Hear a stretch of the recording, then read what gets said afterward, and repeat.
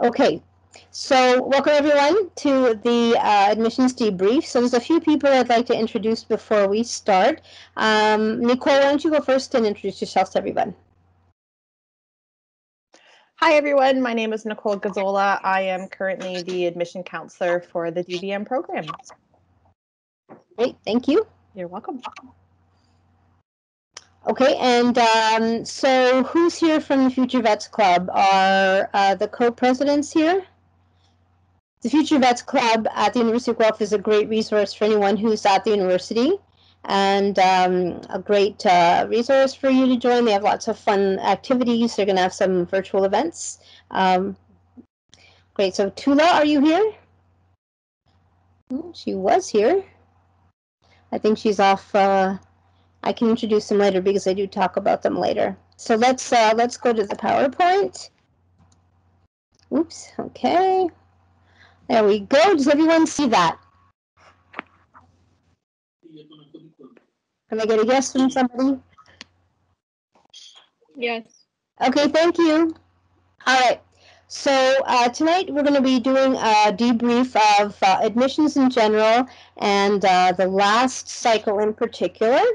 Um, so what you should know about the goal of the admissions process is that it's it's meant to choose candidates who will successfully successfully achieve the DVM curriculum competencies and as a result serve society's needs. And uh, everyone should be well aware of this website. This is the website that uh, has all the information about um, uh, the the admission cycles, the statistics for the last, oh, I think 13 years now. I'm going to put up the one for the last year uh, shortly. And it also has um, a lot of uh, information about uh, courses.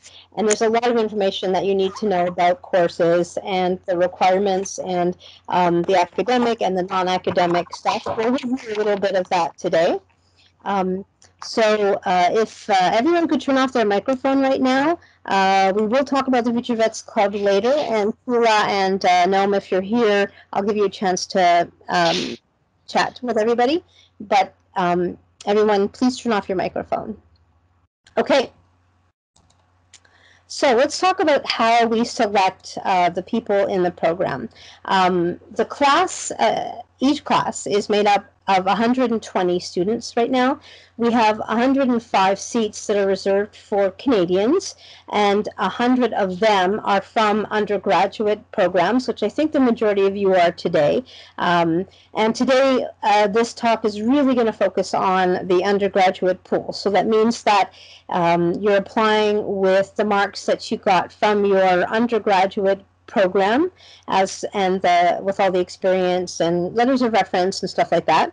We also have five seats uh, up to five seats for people uh, in what we call the graduate cohort, and those are um, for people who have done a master's or a PhD um, and want to apply uh, with not only their marks from their undergraduate career, but also their marks from um, their graduate program. And productivity for that is very important. Productivity being um, number of first authored papers, second author, um, places where you've, uh, or number of times that you've presented your results at conferences, things like that. So that's a separate cohort. Uh, you can have a graduate degree and still uh, apply as an undergrad if you did well in your undergrad. It's really up to you how you would like to apply and how you feel you would um, sell yourself best and you'd have the strongest application. Um, and the other thing you should know is that you can apply anytime after you've done your undergraduate degree. You don't need to apply while you're in it or just after it. You can go out and work and gain experience, uh, uh, travel or whatever, but you can apply after uh, you've done your undergraduate degree and your marks will not uh, expire. Okay, and then we have 15 seats for international students. So these are students that do not have Canadian uh, citizenship or permanent residency, um, and it is also uh, not for students that have a dual Canadian citizenship because uh, that would make you Canadian. Um, so that's really for people who have um, nationality outside of Canada, um, and um, they apply very similarly to the uh, undergrad, but uh, they apply through a separate system. Okay, so these are currently the uh, requirements for the vet program. Um, I'm just I just have a couple of rules on here, but there are many more.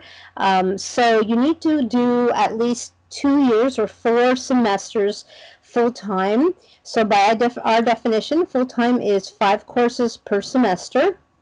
And that can include a summer semester, but again, if you do courses and you want them to count as uh, um, prerequisites for the program, your summer semester has to have five courses as well within those months that are considered the summer semester. Um, and these are the eight courses that you need to have. So two biological sciences, and we do have a list of uh, courses that you can use if you're at the University of Guelph in each category. And if you're not going to the University of Guelph, you might still want to look at that list just to see the kind of um, courses that uh, fit under that definition. So biological sciences is actually a very big category. It can include anything from um, anatomy, physiology, uh, so many different things. Um, and again, that list will help you kind of look at what people can use in Guelph as a biological science. So if you're um, at another university, you might have taken a course like that. Um, and you can use it as a biological science. Then there's uh, cell biology, genetics, biochemistry, statistics, and two humanities social science, which is also quite a big category. Um, it can include languages. Um, really, um, what we like to see is uh, courses that help you learn how to uh, interact with people or learn how people tick. So, psychology is a great idea, um, ethics is a great idea, things like that. So, um, philosophy, those are all good choices. Um, and uh, generally, uh, you should know that um, all requirements have to be completed by December 31st before the year you want to enter the program. Um, so uh, for the next cycle, if you're going going to be applying um, for fall 21 entry. That means that you have to finish all your academic requirements by the end of this semester, so fall 20. Um, and the main reason for that is because when we do our calculations, which I'll talk about later, um, we need to have a final mark for everything for March 1st. And if you're in a a course right now. Um, I mean, sorry, if you're in a course uh, in the winter semester, we wouldn't be able to get a final mark in time to apply it to your admissions average. So then uh, you wouldn't be able to use that.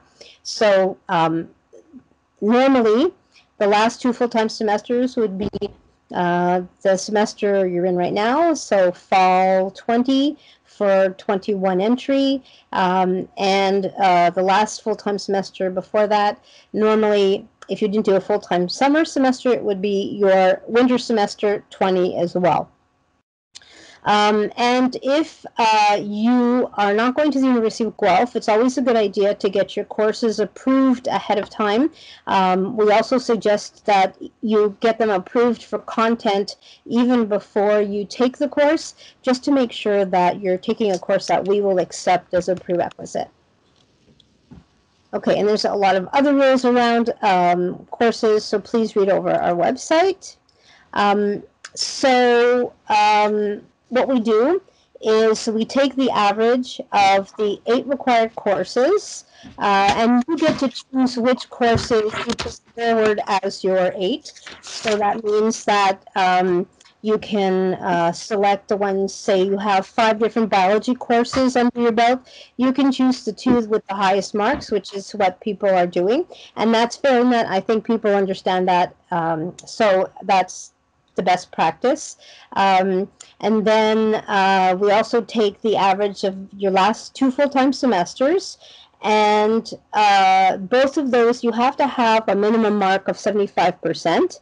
However, um, if those averages are around 75%, um, then you might want to take a look at the statistics we have for the last um, few um, application cycles and decide if you'd be a competitive applicant because the averages are um, higher than that. So even though you could apply, uh, you may not get an interview with averages close to 75%.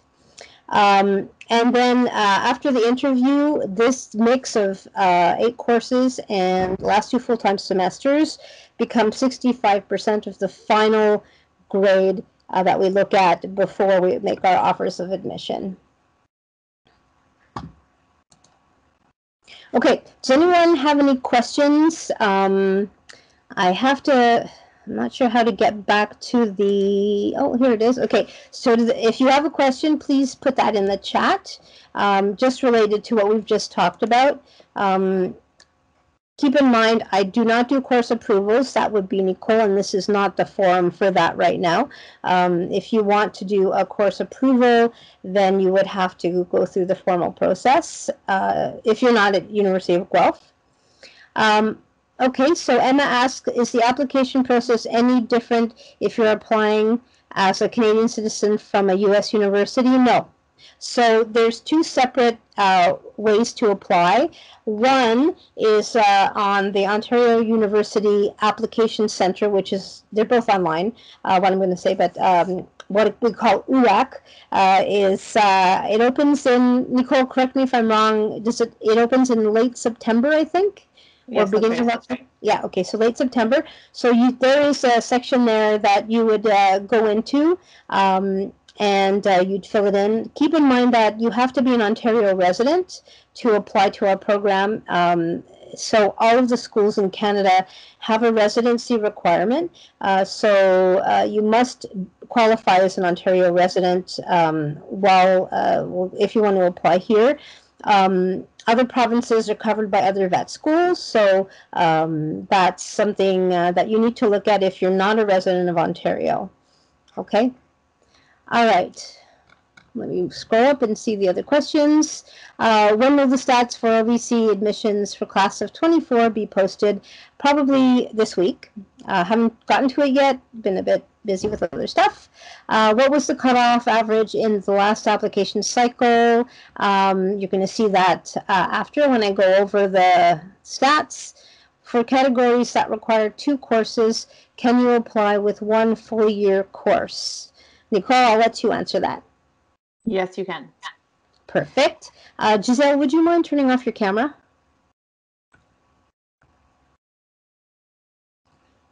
Thank you. Uh, okay, so Chris, Christian asks, can you briefly discuss how the pass-fail options from winter 2020 will work this cycle? Would you like to handle that, Nicole, since you've been handling a lot of these questions? Uh, sure. So I'm just going to refer to the posting that's on the OVC website, and I would encourage you all to get familiar with that one. so I'm just going to read through the points. So courses with a final grade of pass cannot be presented as prerequisites and must be from an acceptable full-time, so minimum 2.5 credit or 15 credit hour semester. Um, so it, courses that are presented as prerequisites must have a numerical or alpha grade. Winter 2020 will be considered a full-time semester so long as it contains a minimum of 2.5 credits or 15 credits hours and has a numerical or alpha grade in a minimum of 1.5 credits or 9 credit hours. So you can have pass grades in a maximum of 1.0 credits or 6 credit hours. That would be acceptable. And then winter 2020 will be considered one of the last two full-time semesters so long as it is a full time, so again, a minimum 2.5 or 15 credit hours acceptable semester and has a numerical or alpha grades in a minimum of 1.5 credits or 9 credit hours. So again, a pass grade in a maximum of 1.0 credit or 6 credit hours will be acceptable. Any courses presented as a pass grade will be excluded from the calculation of the cumulative average admission average. Any past course credits completed as part of a graduate program from the winter 2020 semester will be excluded from the cumulative graduate program admission average. So that was a lot of information that you can read for yourselves on the OVC site. There's a nice big red banner right there. okay, did that help, Christian? Yep, thank you. Awesome. Okay, Escrava. Um, I'm a dual citizen and live outside of Canada, so I do not need to be an Ontario resident for 12 months to apply? I think that you mean, do I need to? And the answer is yes. So you, there's only two categories. Either you're Canadian and you have Ontario residency, or you're not Canadian. So, um, unfortunately, uh, there are some people that do fit in that category that they grew up outside of Canada. So, if you want to come to our school and pay the Canadian tuition, which is pretty fabulous compared to the other schools in the US. Um, you do need to establish residency of uh, 12 months before you apply. Uh, so uh, you'd have to move here. Um, might be a good idea to get some uh, Ontario-related veterinary experience and volunteer while you're here, but you do have to get those 12 months done uh, before the application. Okay. Um, when filling out a course approval form, is it for the last two full-time semesters? I'm not sure I understand your uh, question, Serena. Do you want to turn on your microphone and your camera and ask that, like clarify what you're asking?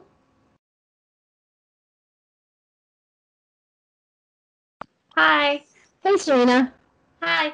Um, so I guess my question is when you're applying or when you're sending the um, course um, what's it called? The course approval request. Yeah. yeah approval. Um, would we state the courses that we took in our first full time semester and our second full time semester? So, for example, like winter 2020, fall 2020. You can send it in for any semester. Um, I usually uh, like if you know that you want to take a course as and use it as a prerequisite, and you're not going to University of Guelph. I usually suggest that you send it in for content first before you okay. even take it to make sure it's acceptable. But right. there's no no limit to like it's too old, you can't get it approved. Uh, yeah, you could do it for any semester. Okay, thank you. Yeah, and I didn't talk about appeals. Thanks, it's okay. Um, you, um, uh, for those of you uh, who uh, have to work full time um, and it's a like a career change option, or you have a reason um, like a medical reason or um, an accommodation that uh, that uh, you are. Uh, told not to take full-time studies that you have to take for semesters or less a semester, uh, you can um, send in, you can apply for an appeal, uh, and that process is summarized on our website.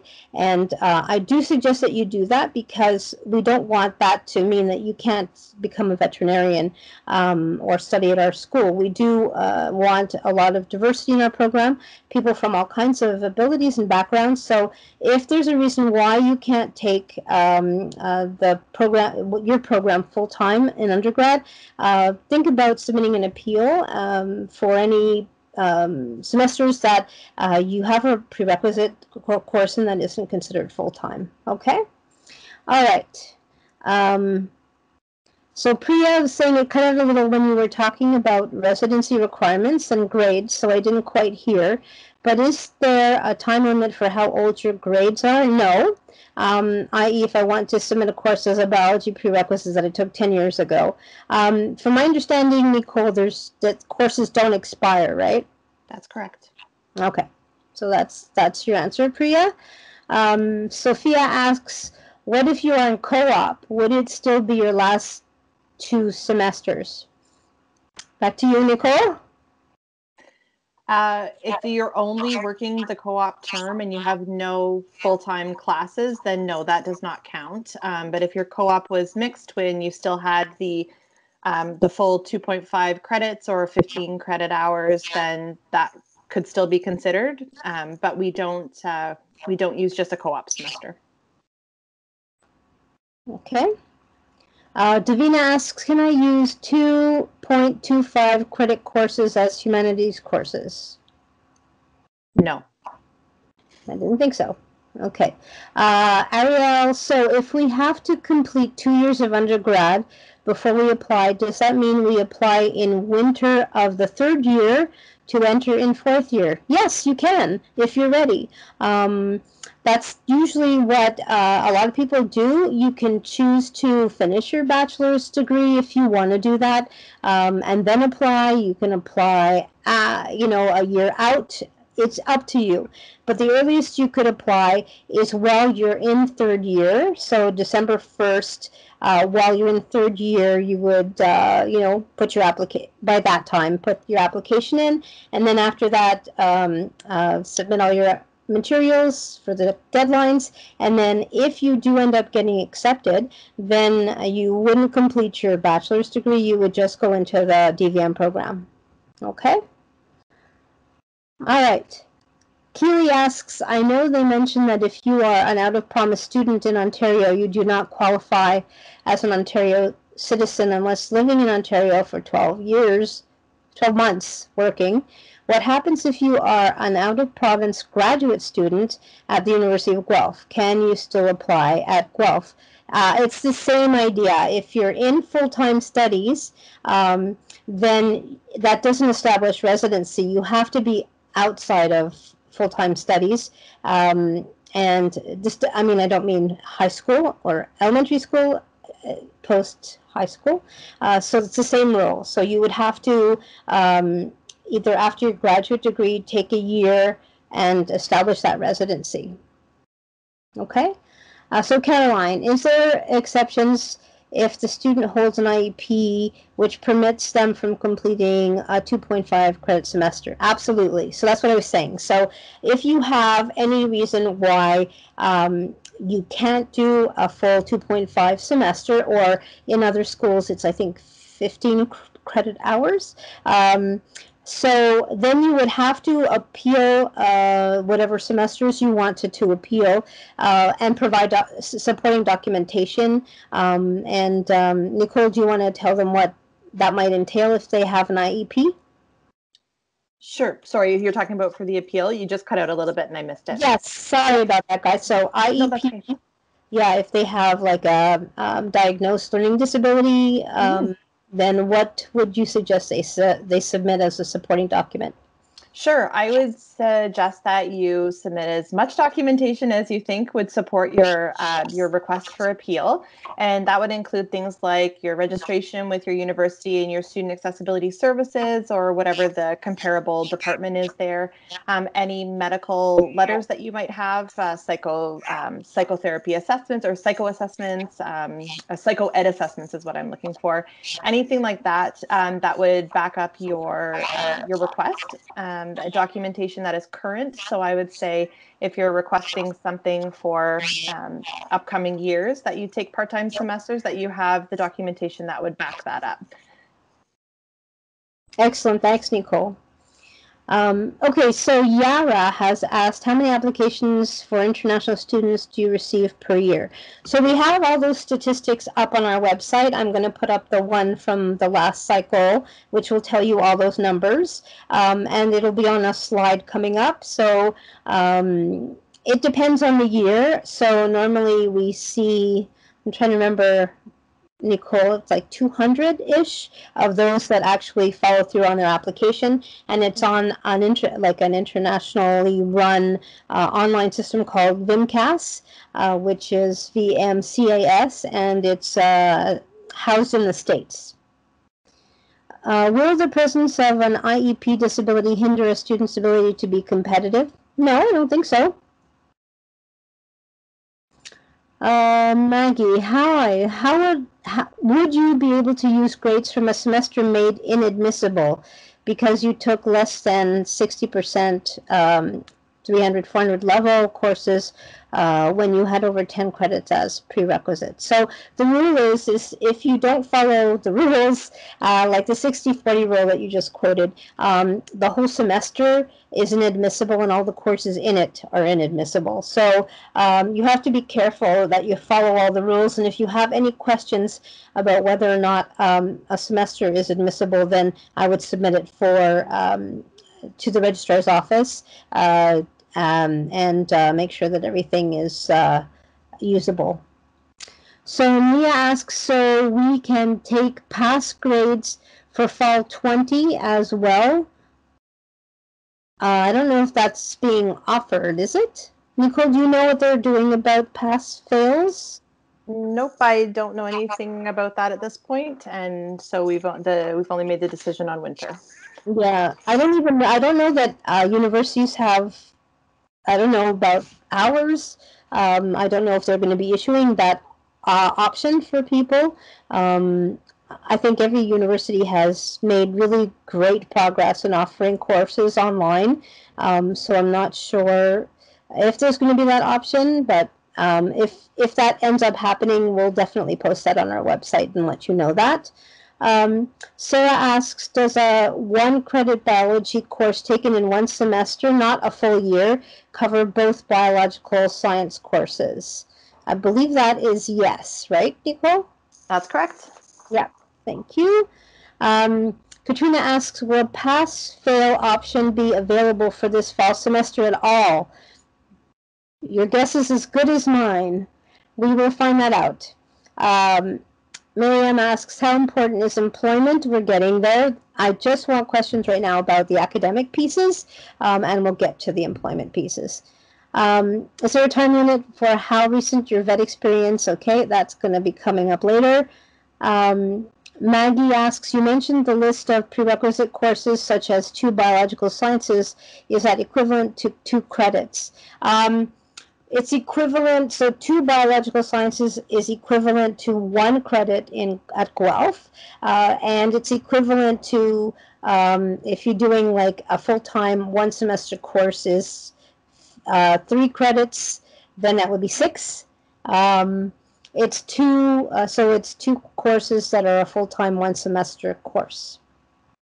Tracy asks, can you apply as an undergraduate even after graduating? I think I did say that, but yes, you can apply anytime you want. You can you can have a master's degree and still apply in the undergraduate pool.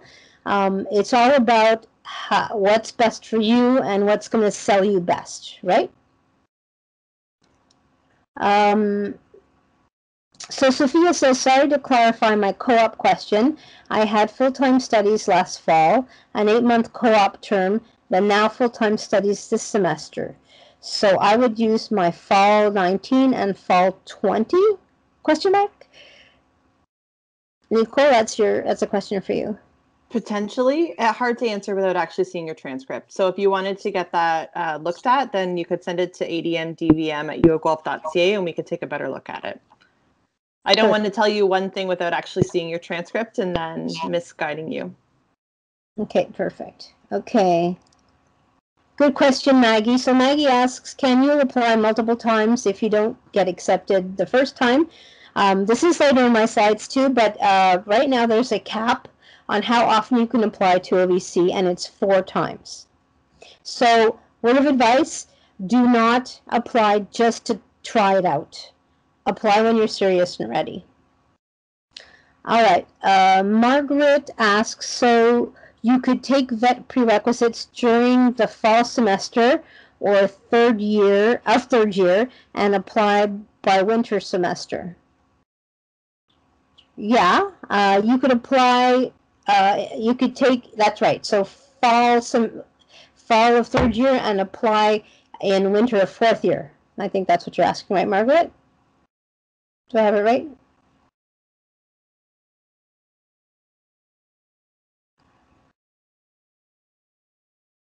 Okay. Uh, Juliana, how will the interview process work this year? Will there still be MMIs? I'm going to talk about that later. We're just talking about courses right now, okay? Um, yeah. All right, so all right, good question. So Emma asks if I am living in Ontario for the past 20 years and I am offered a job in another province starting in November, will I still be eligible for Guelph if I'm not still a current Ontario resident? So right now, Yes, that is true. You would still be able to qualify as an Ontario resident because you've accumulated over 12 months living in Ontario. Um, our definition of residency may change in the future um, to reflect the definition of uh, other levels of government, uh, being that it has to be the most recent 12 months, but that's not our definition just now. So um, if that does change, um, and if there's any major changes in our admissions that mean that you have to take an extra step or an extra course, we would announce it one year and then uh, apply it two years later. So we'd give you like a two-year warning that that was uh, a change in admissions. Okay. Um, if you have more than 10 credits, uh, more than 60 credits, uh, okay, am I able to take three thousand level courses for all my courses for the last full time. Yes, okay. So um, what you're referring to is the 60-40 rule. So that the 60-40 rule is that after you've done uh, what we consider to be four semesters, uh, or the equivalent of um, of that in credits, then after that you have to take at least 60% of your courses for each semester at the 30, 300 or 3000 or or 4000 level. Um, so those are interchangeable, and the rest can be whatever level you want. Okay, so um, uh, yeah, I'm getting some questions about the rest of the presentation. So let's go back to the presentation and um, let's see if I can find the rest of the presentation. And um, I'll just go on and then we'll come back to the questions, okay? Because otherwise I won't be able to uh, finish. So, where is my screen? There it is. Okay, can everyone see the presentation? Yes. Okay, good. Thank you. Um, so when you apply, after you've done the academic stuff, um, there's a, a, deadline in February uh, for you to submit your background information form. And this is where all the non-academic stuff goes in, uh, which is the stuff that you're going to be preparing uh, as well as doing all of the coursework. Um, so what we look for uh, is we look for your veterinary experience. I'm going to explain all this uh, as we go. Um, animal experience, extracurricular activities, uh, employment, uh, and you're, you're going to need um, three referee assessments, two from veterinarians and one other.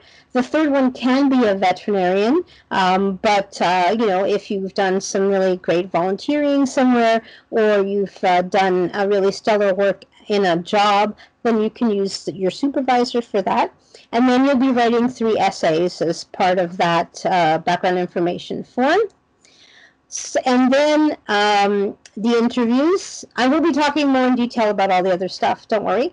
Uh, so, uh, pre COVID, we did uh, the multiple mini interviews, um, and uh, it became 35% of the final ranking for everyone. Uh, so, there's for those of you who don't know already about MMIs, it's an 80 minute circuit of, um, actually it's nine now, it's a 90 minute circuit, circuit of uh, 10 minute stations because now we have two background information stations.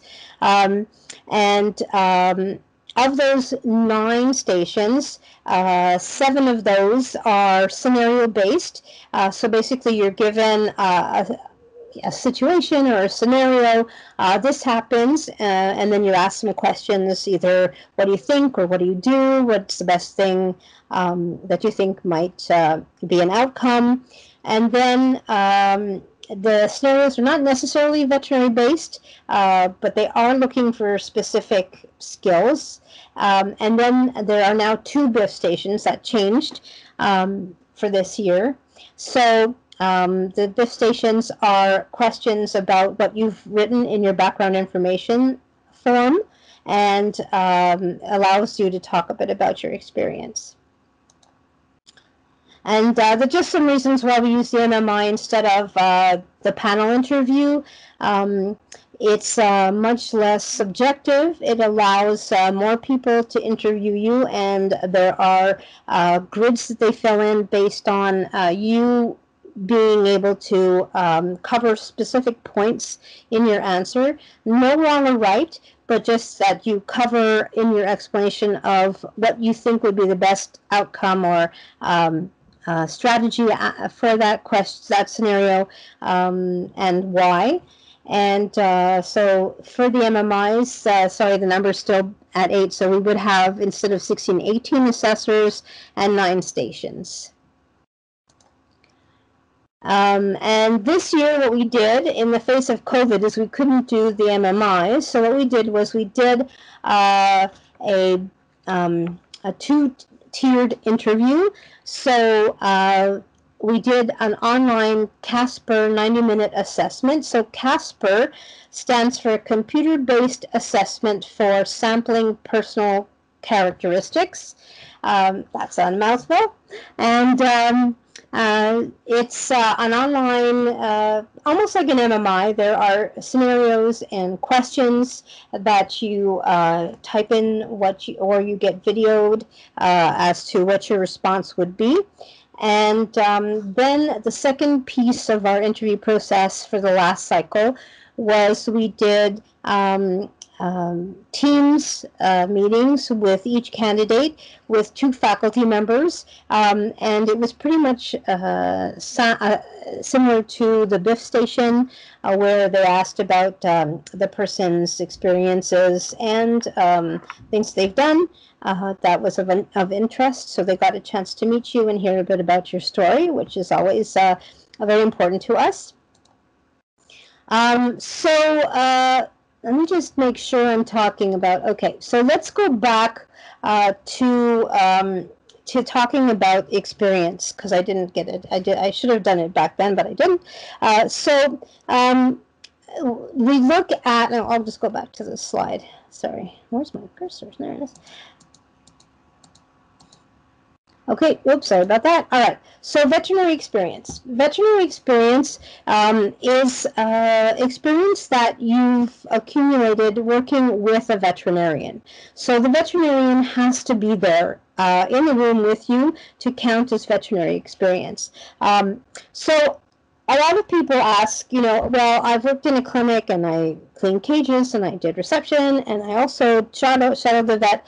So what you need to do is log all of your experience and separate it out by um, how much time you did each. So um, the the stuff with cleaning cages and animal handling is animal experience. If the vet was not there, if the vet was with you and you were watching how they were interacting with clients or doing surgery, that kind of stuff, that's veterinary experience.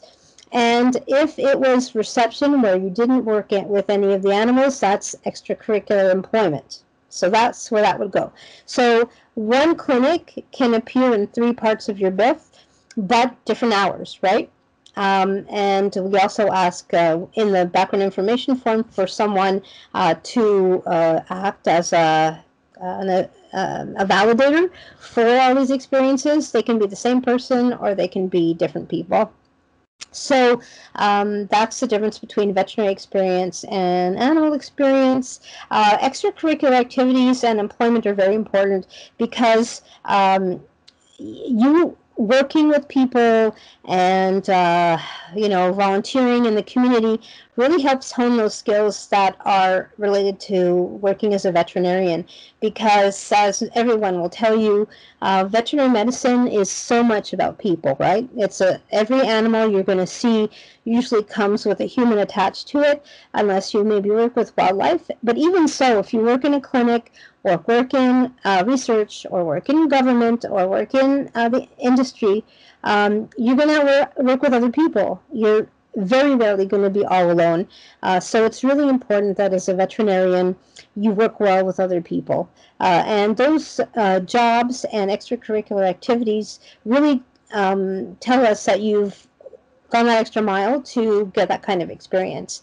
Um, and it's important that you have that. So uh, you are going to be asked about it in the interviews. So that's one thing.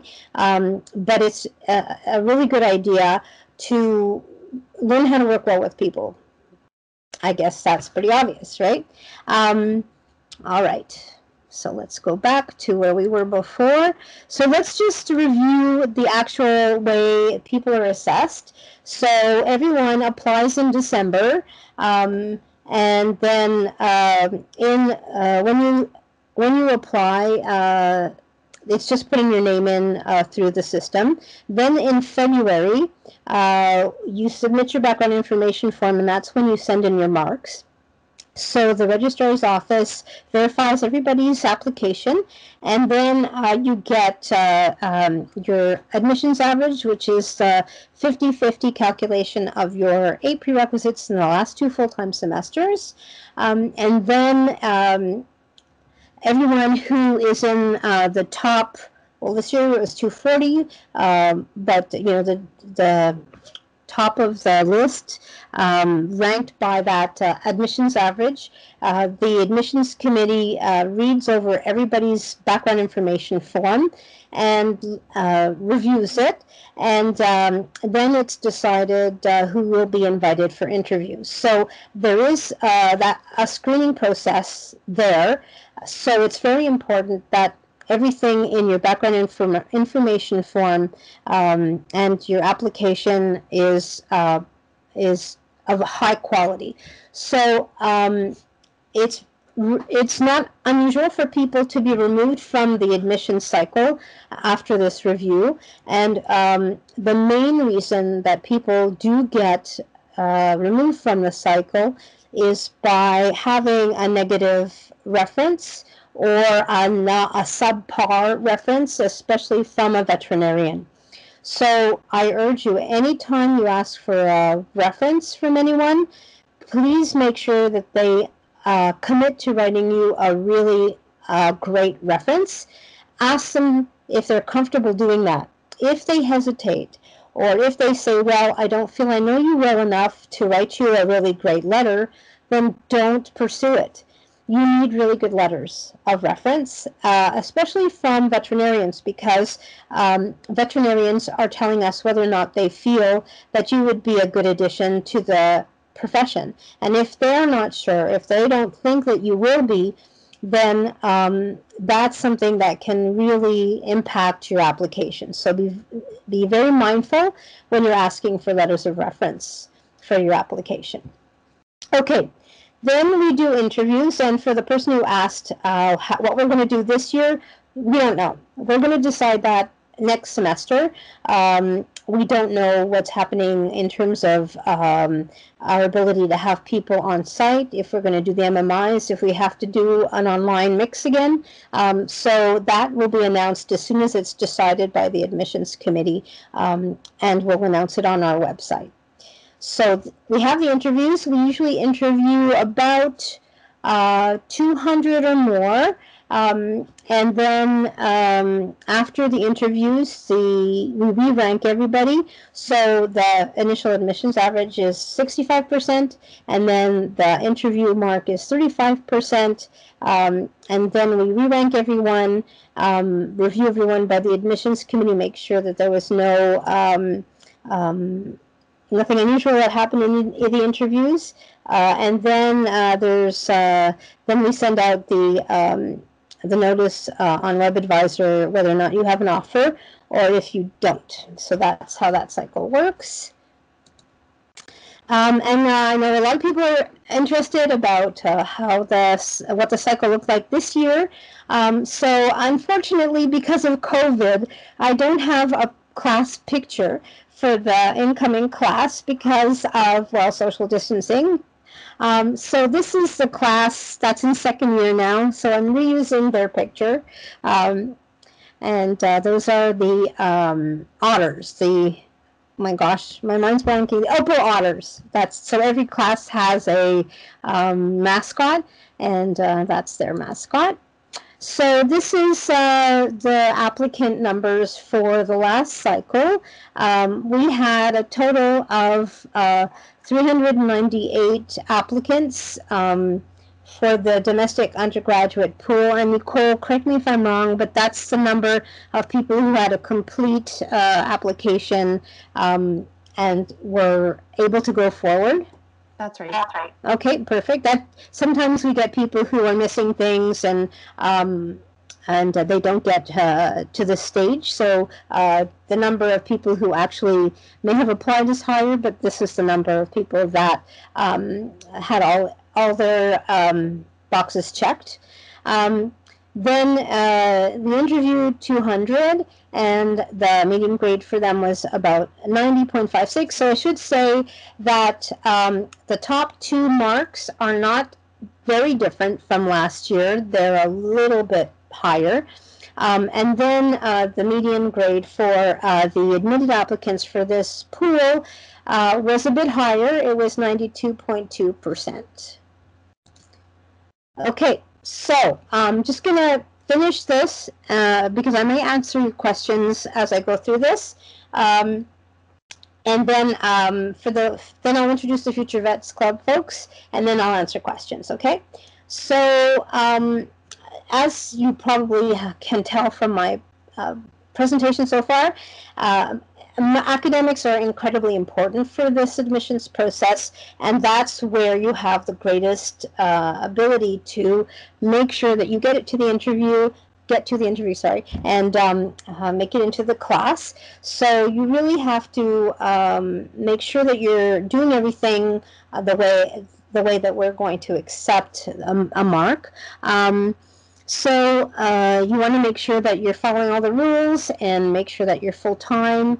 Um, if you can be, and you're taking your prerequisites in full time semesters, and you want to make sure that you're choosing the highest marks, um, not the marks of courses you think will find impressive, the highest marks. And uh, I think that's why the marks are going up every year too, is because people are getting um, better at uh, at, learning to have to apply appropriately. So that's why a lot of the the marks are going up. Um, and uh, if you need help, get help. Don't let your academics uh, hold you back. We've had a few people who um, when they first got to university, had an undiagnosed learning disability, and once they um, got diagnosed and uh, learned the strategies that helped them, they did super well and they got into the program. So um, there's that. There's always tutoring, um, get support. Um, I should say that the uh, veterinary program itself is very um, content heavy, so it's it's it's difficult challenging.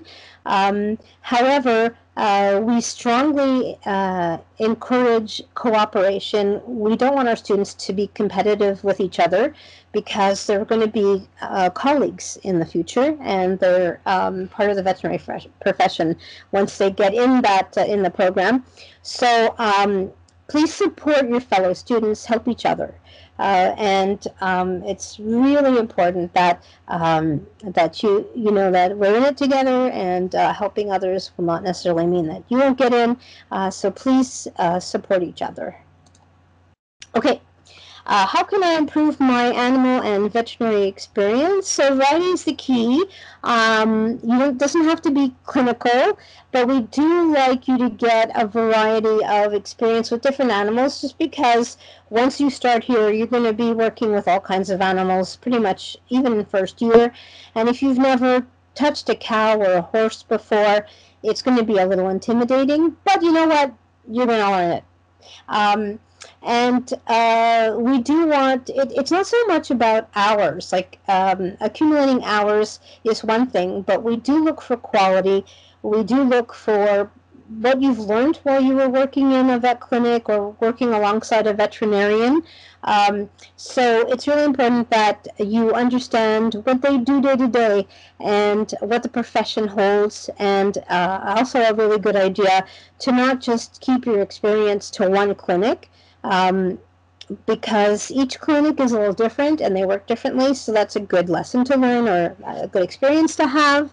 Um, be sure that you're already starting to log what you do and uh, again uh, what was animal experience what was vet experience and who the vet is that you worked with as well as what was um, um, extracurricular work experience um, and uh, we do ask that at least some of your experience be within North America. Uh, this is a North American based program, so um, the content of the curriculum um, is training you to be a veterinarian in North America. Um, so it's good to know what you're getting into by having that experience. And uh, yeah, so there's no right or wrong in terms of experience. Uh, one thing that uh, I like to plug at this point is the fact that if you're at the University of Guelph, we have a lot of veterinarians that are faculty here, and they do hire summer students to work with them, and that counts as veterinary experience because you're learning what veterinarians do in research. If you are not at the University of Guelph, most larger universities have uh, an animal care facility that is that that has to have a veterinarian on staff. So um, that's another uh, way you can get some experience that possibly is close to home. Um, not sure if they're getting uh, they're accepting volunteers now with COVID, but uh, um, if it's uh, you know if the if you can email them um, and uh, find out if they might even do like an online um, information interview with you and tell them a bit about their career. It's great to explore, try everything. We certainly support our students in that. There's so many things you can do with a veterinary degree. We really want you to get that exposure and and get uh, at least uh, a sense of the realm of opportunity that will await you as a veterinarian. Um, some questions I usually get about referee assessments. Uh, again, you have to have worked with the veterinarian to um, get a reference from them. That would count as a veterinary experience. Uh, some people, if you're in an undergrad course and your and your professor was a veterinarian and you didn't interact with him except for that course, that is not a good choice as a veterinary experience because they won't be able to really assess you. If you volunteered with them um, or worked with them over the summer, that's different. But if it's just a faculty member that you've only interacted with um, as a as a professor, um, they may not know you well enough to really give you a good assessment. Um, Again, none of your referees should be um, related to you in any way, or be friends of the family, or be your friends, or be your roommates. I think that's kind of self-evident that all of your applica- your um, referee assessment should be professional, someone that you worked for. Um, if it's an experience that happened a while ago, um, the person may have moved, but they could still be the reference for you for that particular experience. So if, like, say, a veterinarian has moved clinics, you would just still you'd still put them down, or you'd put the manager of the clinic if they if they remember you. So uh, just some, uh, and I think in the questions it was like, uh, do, does experience expire? Well, I think the answer is no. Uh, like, for instance, if you did uh, your 40 hours of volunteer work or co-op in high school with the vet clinic, uh, you could certainly put that in. But if that's your most recent experience with a, a vet or your only experience, the admissions committee might wonder uh, how committed you are to veterinary medicine if you haven't really done anything since then. Make sense? Okay, so here are the three essays um, that we had. Um, Nicole, have they changed this year? Sorry, I lost my No, no, they haven't changed. Okay, so these are the, the three essays that you'll be asked to answer. Um, so uh, this will be on the video, and um, I mean, it shouldn't be a surprise. We're asking you to comment on specific areas of your understanding uh, or your experience of veterinary medicine. Um, so um, that'll be part of the background information form that you fill in. Um, and then interview skills, how can I improve that? Um, well, there's it's pretty much um, you know a given that you need to have good communication skills. Um, you can take public speaking courses, the workshops available at I would think every university offers those uh, workshops. Uh, Toastmasters is a great uh, um, kind of nonprofit uh, where you can um, practice your public speaking skills. And if we do decide to do the MMIs this year, um, the Future Vets Club normally holds mock MMIs, um, uh, and I think some universities do. I think a University of Guelph, University of Guelph offers MMI training now um, that you can sign up for. Uh, okay, so I think this might be. Let me just see what else I have. Oops, sorry. So I've applied four times or my marks are not competitive. So um, if you are not likely or can't get into OVC, there's a few options. You don't have to, um, like your dream of being a veterinarian doesn't have to die. Um, there are other vet schools in Canada, and every single one of them requires residency in their territory, except for Quebec. Quebec will accept you if you are a francophone and um, you have to pass a language test, but you'll be doing the uh, program in French. Uh, so if that, uh, if you're able to do that, you can think about attending the school in St. Hyacinthe. Otherwise, um, check out the other vet schools in Canada. It would mean that you probably have to establish 12 months of re- residency before you apply there. Um, but uh, I mean, you know, it's an option. Um, make sure if you're going to go to a school outside of North America that the, it is AVMA accredited. And um, uh, some of the schools uh, that are accredited are, I think most of the UK schools are accredited. So are a couple of schools in the Caribbean and um, uh, in Australia and New Zealand. So those are the ones I know of. Um, many of the schools in Europe are not. So uh, it would just mean that if you wanted to come back um, to Canada and practice after you did your vet degree in a non-accredited uh, facility, you would have to uh, write two exams instead of one. Um, so it's that's a difference. Okay. Um, anyway, that's not, not something you have to know right at this moment. Uh, so if you have any questions, that vetmed at uoguelph.ca is my uh, email for uh, admissions questions. However, um, ADM DVM at UoGuelph is where you would send things like appeals or course approvals, things like that. Okay, so let's go back to the. Okay, I'm just gonna put this down here. Okay, so um, before we continue, um, let's, uh, let's stop sharing. Um, so, Future Vets Club. Do we have either of the co-presidents here? Tula, I see you. You want to introduce yourself? Yeah, hi. I'm Tula. I'm in your and, and I'm one president of the Future Vets Club. Do you want to talk just a bit about what uh, Future Vets Club does?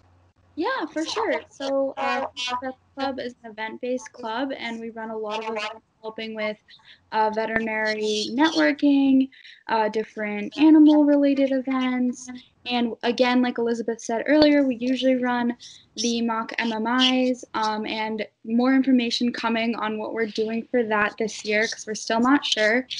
Um, and we also have social media that lets you know about different online opportunities, and we connect with international universities and uh, lots of other information, which you can find on GryphLife and also on our social media. And Facebook. And Facebook. Yes. So if you're from another university, um, you can check out the Facebook group. What's the name of the Facebook group? It's FVC Guelph. Excellent. Okay, great. Um, and is uh, is uh, who else is here from the Future Vets Club? Is Noam here? Yes, Noam. Hello. Hey, Noam. Hi, I'm Noam Meany. I'm in the third year zoology, and I'm the other co-president of the Future Vets Club. Great. Anyone else from Future Vets Club? Just turn on your microphone and your camera. Oh, hey, uh, ahead. I'm Ananya. I am one of the events coordinators for the Future Vets Club this year. Do you want me to turn on your camera just so everyone sees you? Oh, yeah, sorry. No. yeah, Thanks, Ananya. yes. Anyone else? Hi everyone, I'm Kyla and I'm the communications officer this year. Excellent. Anyone else? So if you want to email the Future Vets Club, it's fvc at uoguelph.ca. Danica, did you want to go on? Yeah, go ahead. Hi, um, I'm Kanika. Um, I'm the senior editor of the Future Vets Club, and I'm in my third year of biomedical science. Your voice is very low. Can you go closer to the microphone?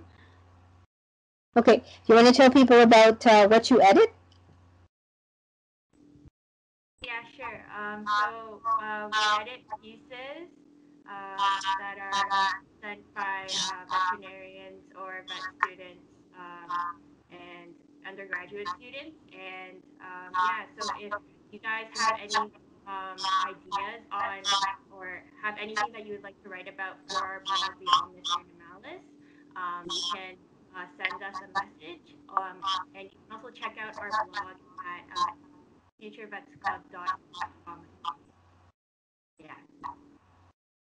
Excellent, thank you. That's great. And if you want to, if any of you want to put anything in the chat, uh, just for people like uh, uh, an email or uh, a message, that's fine. Okay, so let's go back to the questions. Um, so Emily asks, do references need to all come from different clinics? For example, I could get references from two vets and a manager from the same clinic, or do my references need to all work at different establishments? It's fine. You can have um, the references all from the same clinic, um, but I would suggest that you don't just get experience from one clinic, just for your own sake, just for you to have uh, sort of a more breadth of experience and um, more more stuff under your belt. That's it. Okay, Kate asks if you're studying undergrad out of province but lived in Ontario until leaving for university, do you still qualify as an Ontario resident? Absolutely. Um, so really, you can go anywhere for your undergrad. It doesn't mean you are a resident there. Like I could go do a bachelor's in the United States, doesn't make me American, right? So really, it's where you live outside of post-secondary studies that we're interested in. Okay, Alicia um, how will the two semester average be calculated if we have chosen a pass to pass a class instead of having a numerical grade? Will it be an average of all the classes spanning the two semesters or it will be an average of the semester averages? Okay, Alicia, why don't you come on if that's okay with you and Nicole can um, answer because I'm not sure I understand that. Nicole, did you understand I that? think I understand it. Yep. So we would be doing an average of the courses that have grades across those two semesters. So we don't combine the average from semester one and the average to semester two. We look, we do an average of the courses that have grades. Oh, perfect. Okay.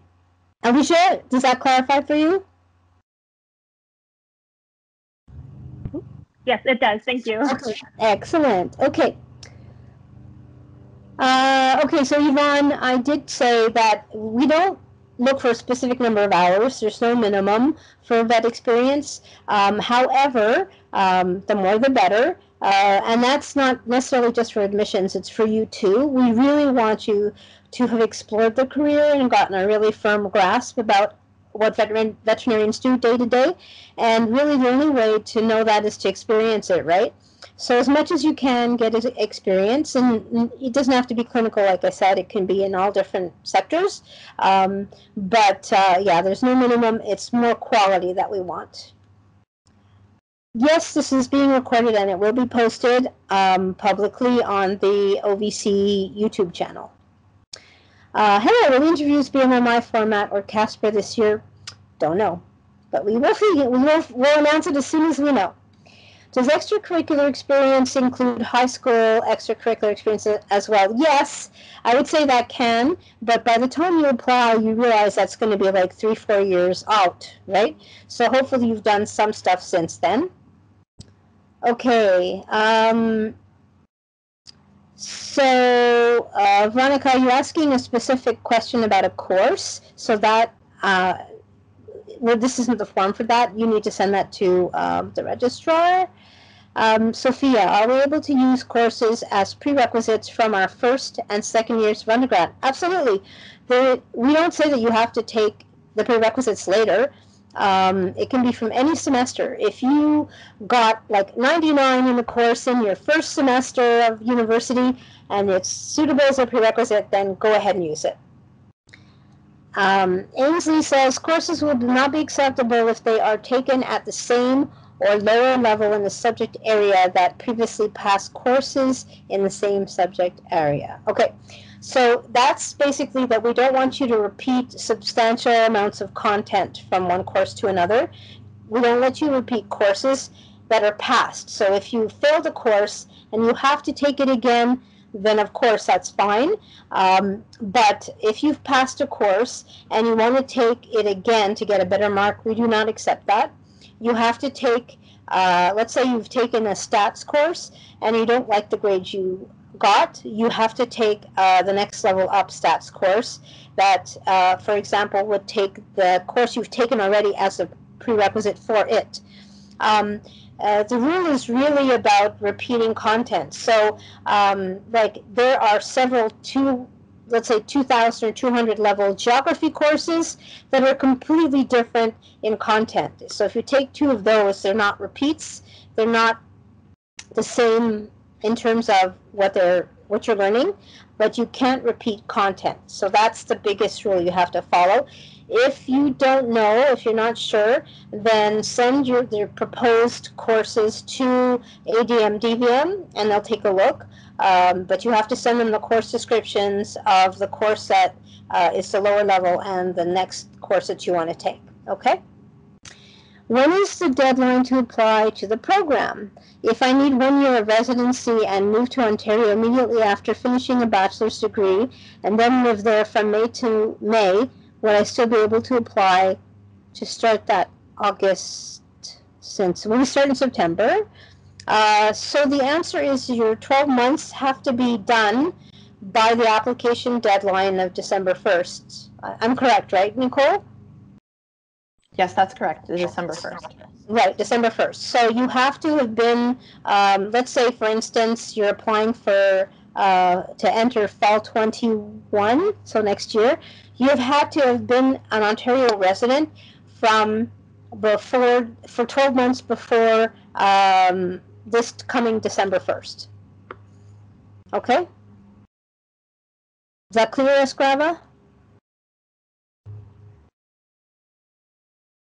Yes, no? Okay. Nathan asks, do we need to work with the veterinarians for a certain amount of time to be able to submit them as references? That's a pretty good question. Um, I would say it is about them knowing you. So um, I don't know if there's a number I would put on that, but I would say that uh, you should talk about it with the with the veterinarian. Like, do they feel they know you well enough to be able to give you a really good reference? Um, so, uh, you know, obviously, I think a day is not enough, um, and I don't think you need to do a whole year. But I think Nathan, that's a good question, but that's a question that I think the referee has to answer.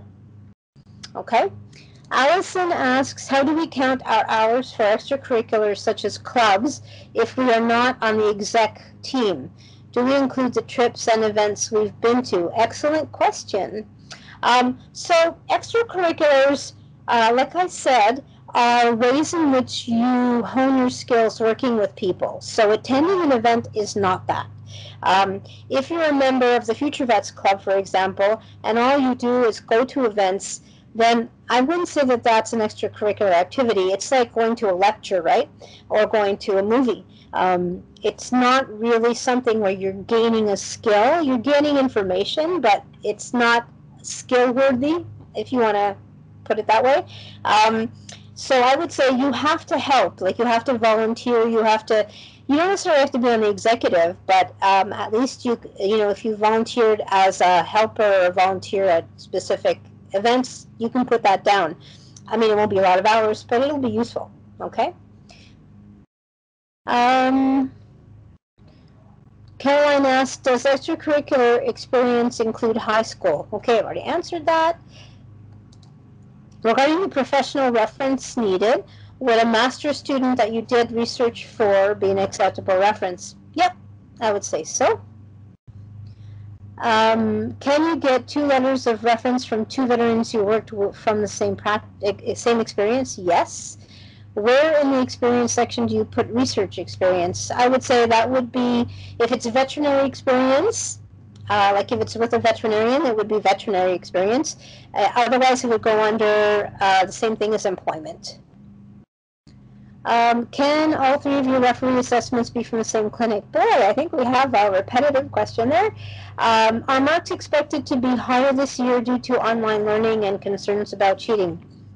I don't know. Would you be able to give us the range of those accepted? Oh, um, I don't know that I have that handy. I definitely do not. I don't have that handy. Um, it will be on what I'm going to put up. I think. I think it's it's the range is on the stats sheet that I'm going to put up on the on the website. Um, so, sorry about that. I didn't have that. Okay, look for the look for the hand. Look for the stats that are going to be posted. Sorry, I'm running out of steam now. Um, does the admitted applicants median include the interview scores or just the 65% portion? Uh, it's it's both, right, Nicole? I think it's uh, the 65 35. Um, yeah. Gosh, I can't remember. I wish I could find that sheet. It's tucked away in email. questions. Um, Let me see if I can. Yeah, okay, go take a look and, and uh, we'll get back to you, Nicole. Allison asks, is there a certain amount of hours required uh, for the extracurriculars employment section? There's no um, minimum. Um, again, it's about quality, but uh, I would uh, I would not like to see an empty section. So if you have nothing to put in a specific section like extracurriculars, um, you know, um, it's not a great thing.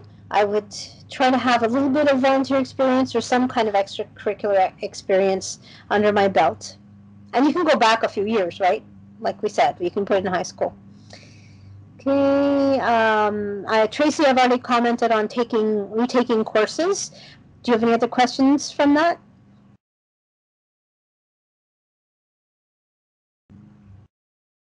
Is that okay? Emma asks, do you know what the admission stats for the grad cohort was for the last cycle?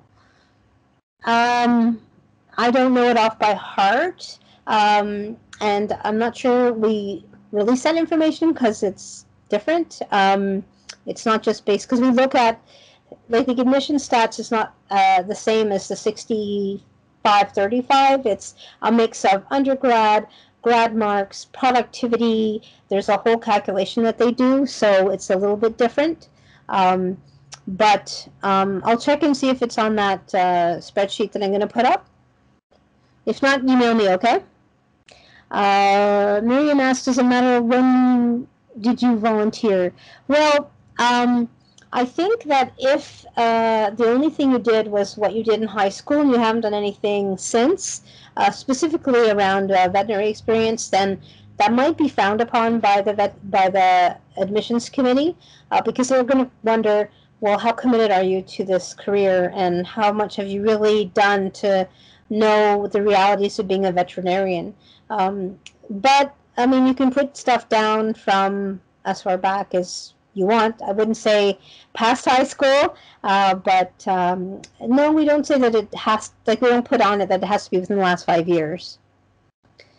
Okay, uh, Katrina, in regards to applying, I read on a calendar somewhere at the UG website that internal applicants should be applying by October 1st. Is this correct? That's international, that's not domestic. Um, so, or should everybody be applying? It's it's December first for everybody. Um, the the application site opens earlier. Um, so please don't wait till the last minute because sometimes there are technical issues. So if you're on the computer like at midnight, December 1st, and things aren't happening for you, that's not going to be fun. fun. Um, please don't wait until December 1st to do it. but uh, uh, it's December 1st for Canadians. Okay. If I took a course-based master's but wish to apply in the undergrad cohort, am I able to write about my master's on the BIF at all? Yeah, sure, absolutely. You can write in it. Um, uh, in uh, the essay, you can include some of that uh, if it helps you decide one way or the other where you want to go. Um, uh, your master's is course-based, so you, we wouldn't use um, marks from there unless you took an undergrad upgrade mark. Um, Nicole, do you know if there's anything else they can put in? I think uh, it's yeah. There's other other than extracurricular. Yeah, I think wherever you think it might fit the best. Yeah, yeah. I think that's up to you if you want to put it in, um, because you know, a master's. If you do research, it's a little more than just a course, but you can definitely talk about it in your essays. I know that. Hi, Elizabeth. Sorry, I was the one that asked the question about the masters. Um, I also it wasn't included in the question, but if I do have a published paper, am I allowed to put that anywhere on the BIF? I know that I'm not applying in the graduate cohort, but does it count? Would it count? uh, no, I don't think there's really a place for it. Um, I don't think so. But you can mention that you published a paper in the essay, right? Okay, thank you. All right. Uh, let's see. Allison asks, when asking people to verify our hours, what contact information do we need of them?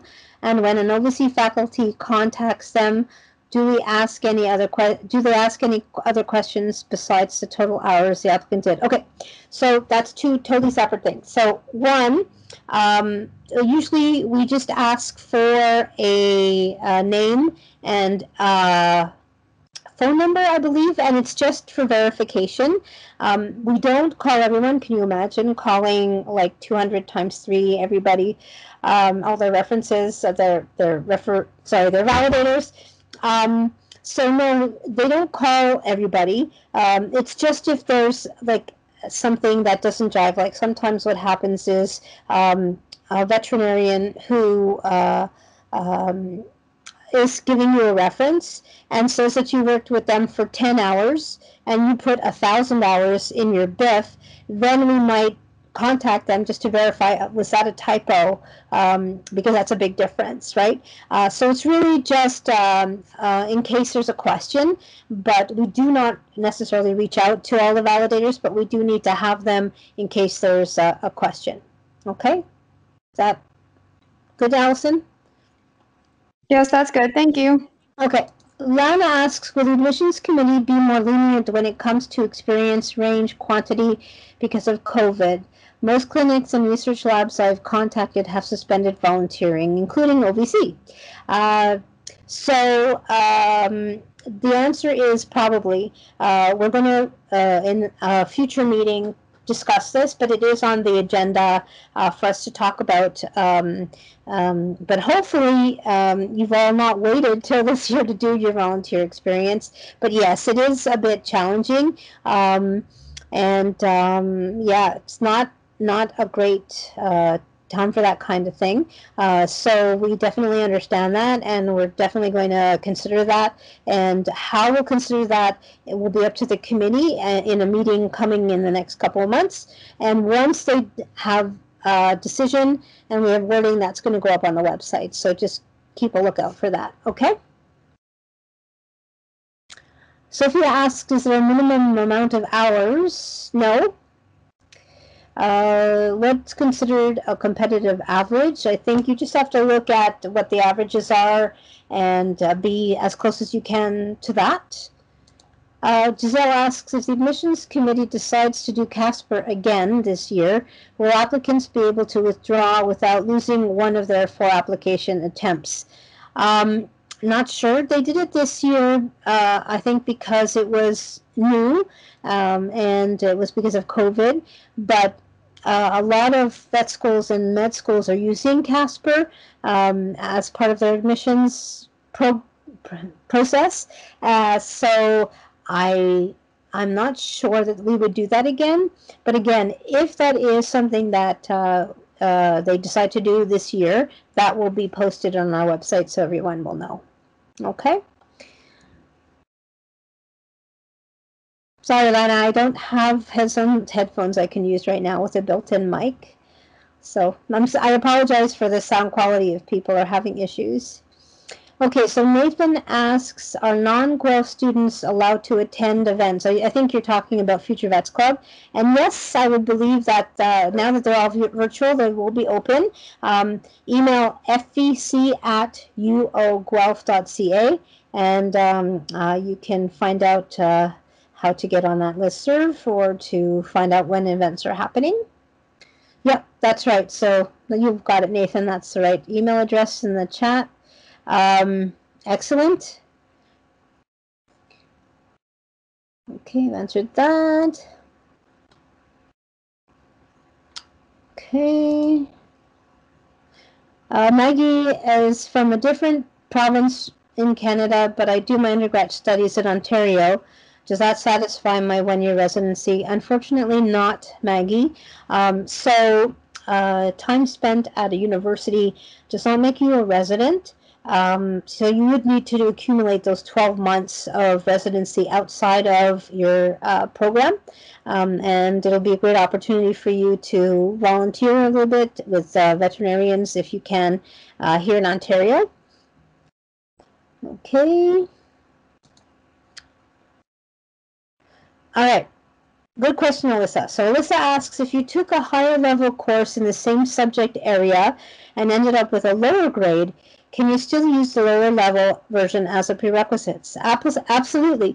You choose, right? So if you've taken 20 statistics, um, I know people are going, no, but if you, for example, took 20 different statistics, you just choose the one that has the highest mark from any semester that is full time and ha- that you follow all the rules. Okay?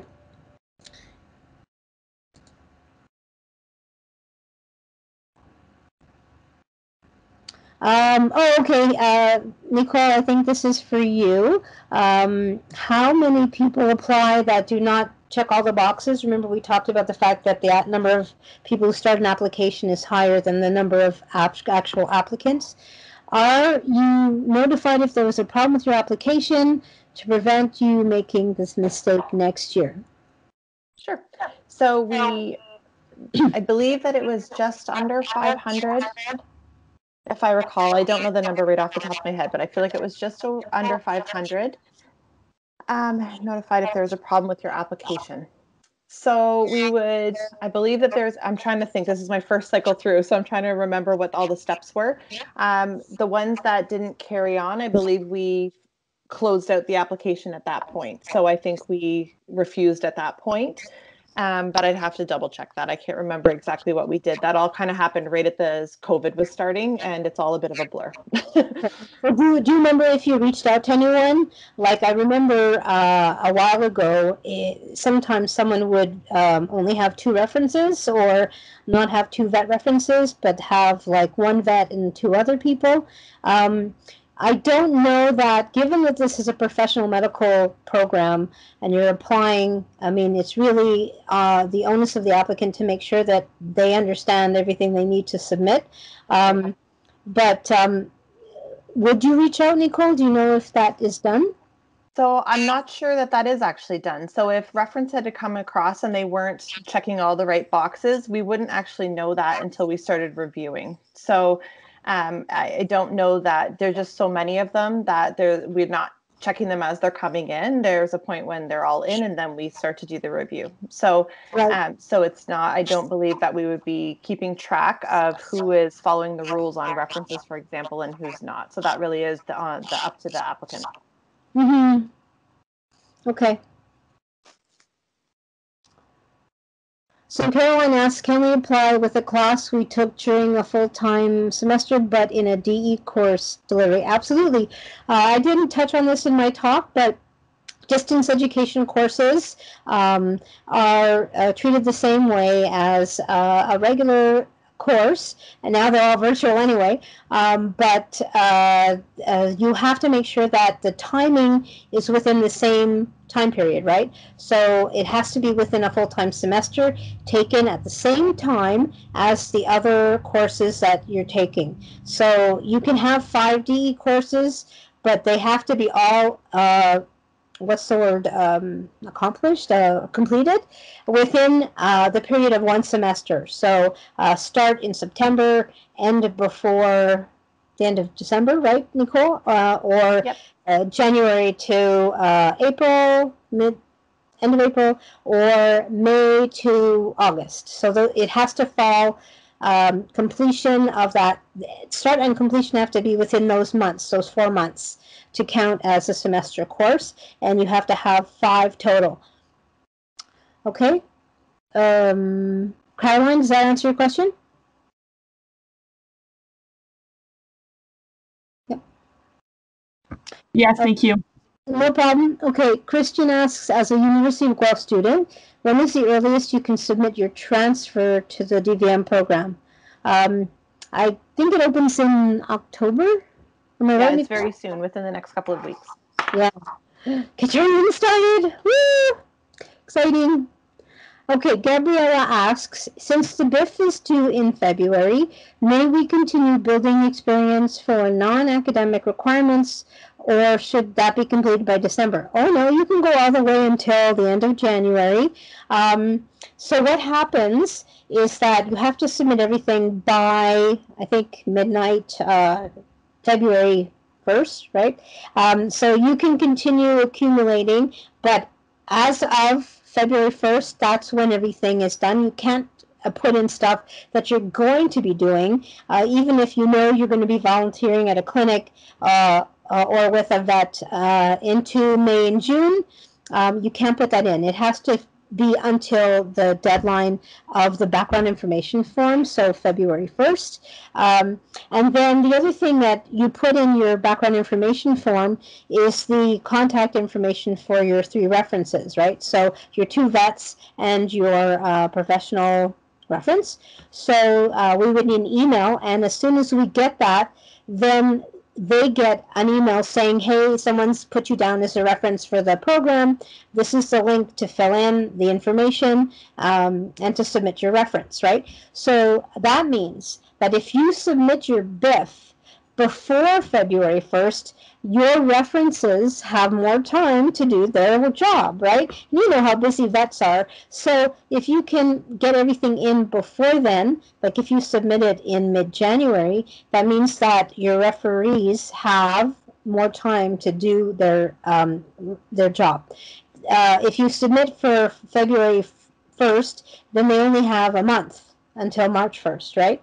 So if you can do it earlier, better um, you can start thinking about when you what you want to put on it already, right? Um, and have all the numbers ready. Okay, does that answer your question? Gabriella? Yes, it does. Yes. Awesome. Okay. Let's see. Amy asks if you're applying for a second time, can you resubmit your essay questions for the BIF, or do they need to be changed for a new attempt? You know what? We don't know that you do that. Uh, we don't compare. Uh, so um, you do have to copy and paste it. Uh, so it can be the same one, but uh, uh, we don't keep or we won't look back at anything that you've submitted before. We do keep track of, um, you know, any kind of course approvals you've done.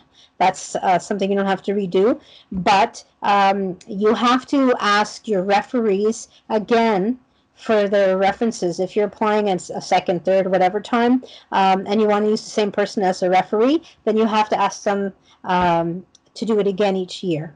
Okay? Is that good, Amy? Elizabeth, can I pop in for just a quick second back to that question that Megan was asking about checking all the boxes?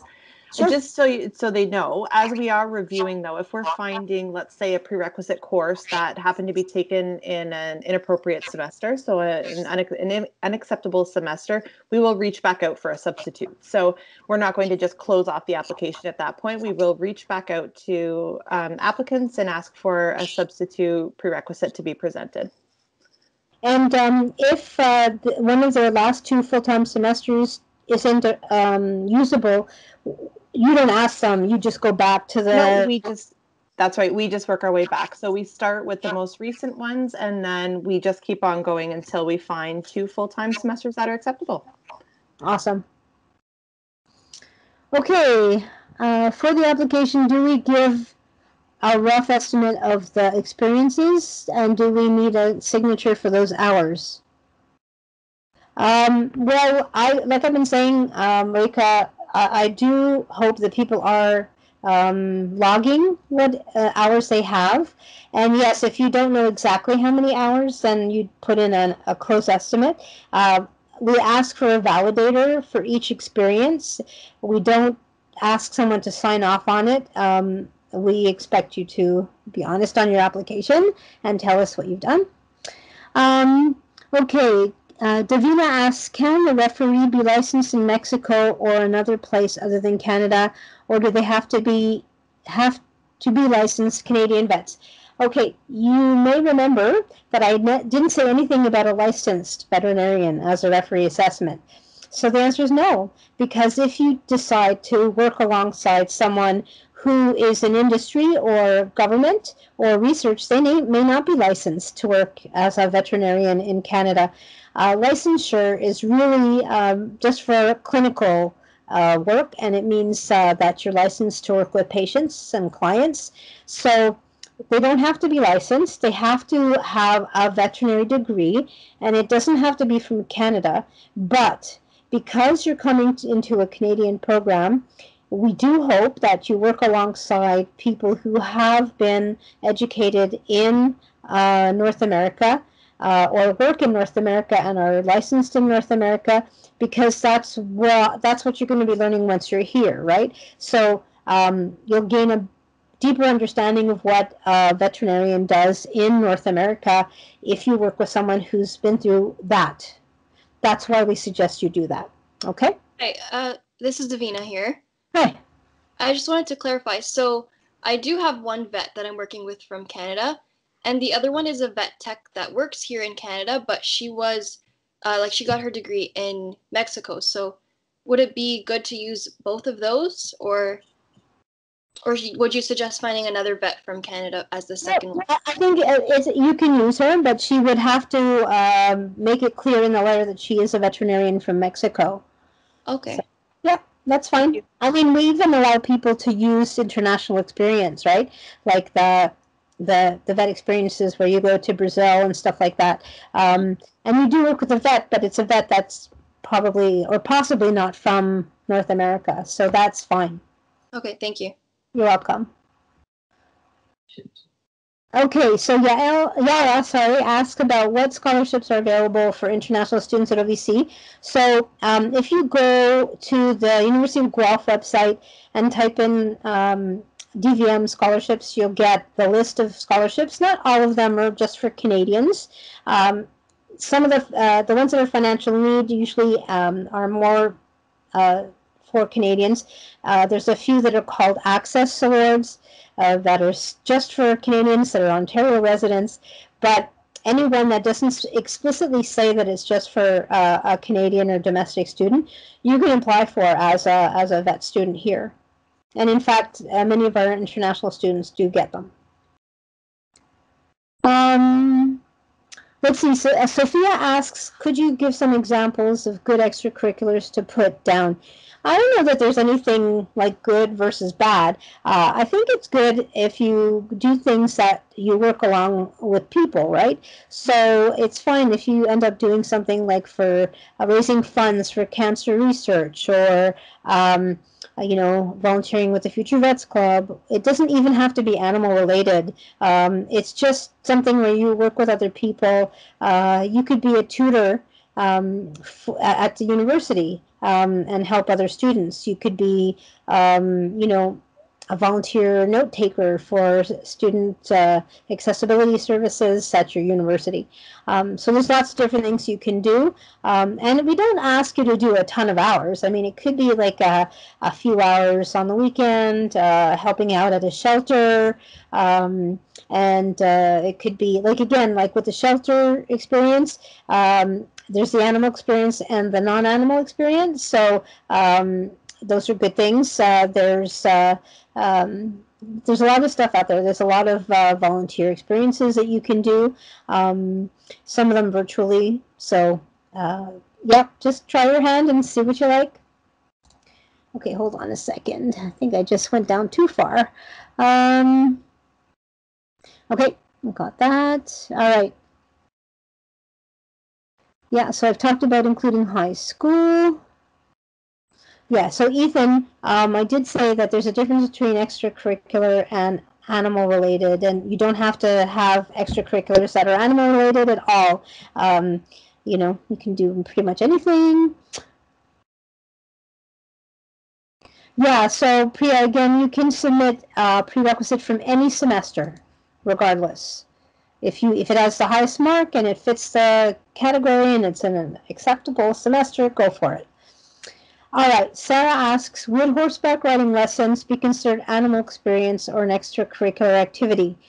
Uh, would you be able to separate the time into lessons being an activity and a horse care as animal experience? So, interesting.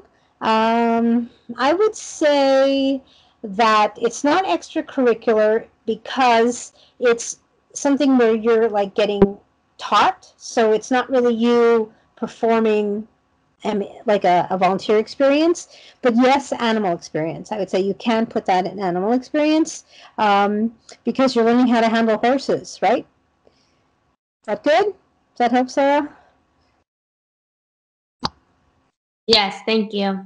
Awesome. Okay, Marina uh, asks if for the three referee references or referees, can all three be veterinarians? Absolutely. It's up to you, but two minimum.